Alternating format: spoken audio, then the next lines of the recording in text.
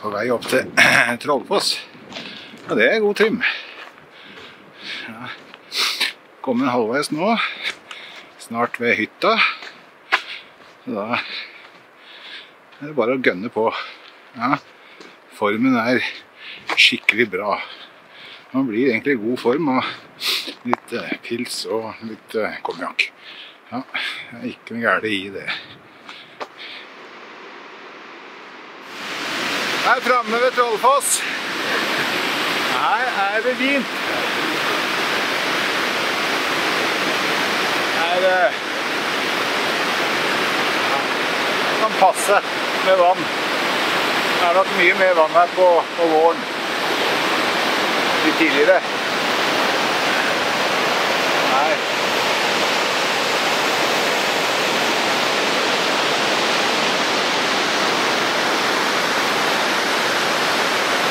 Ja, dette er helt supert.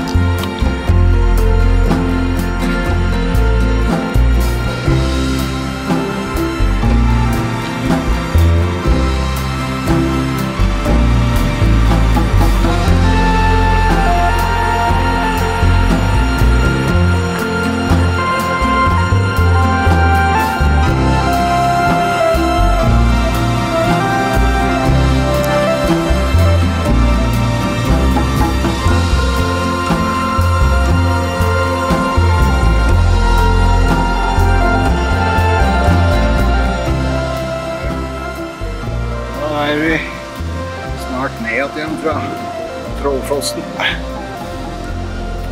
Det har vært en kjempefin tur.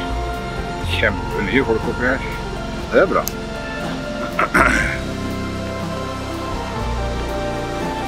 Det var litt synd at jeg ikke tok med teltet. Det hadde vært veldig kjekt å den ligge over og. Men nå er tilbake til vogna, konjakk og Frydenlund, fatøl og porter og ja. ja, og mer. Yes, ok. Fin tur.